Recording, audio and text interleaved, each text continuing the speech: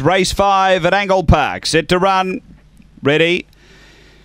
And away, pace from Harry Aztec's going to spear out and lead early. Harry Aztec clear of Aston Morris. They drive to the first bend. It got pretty tight. And uh, Harry Aztec led uh, around the outside. Zipping Bianca quickly to second. Uh, Justin Hodges gets to third off the inside. Uh, then came Aston Morris, Allen Kentucky, Footrot Fantasia, kicked like Mick and Winthrop Flyer. Front runner is uh, Zipping Bianca. half length on Justin Hodges, who runs through well. Justin Hodges takes a lead. Harry Aztec follows it through, but Justin Hodges too good. Second, Harry Aztec. Third, close. Allen Kentucky flew late to put itself right there with Zipping Bianca. Then Footrot Fantasia, Winthrop Flyer, Aston Morris. It was back toward the tail. The time here is 30.01.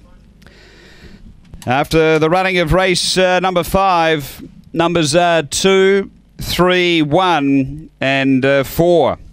Number two, Justin Hodges, Scott Feltus for the Highcombe Hack Syndicate, managed by Jay Kuhar, three in a row. A Black Dog, February 2014. Black Nitro, Premier Design. Number two.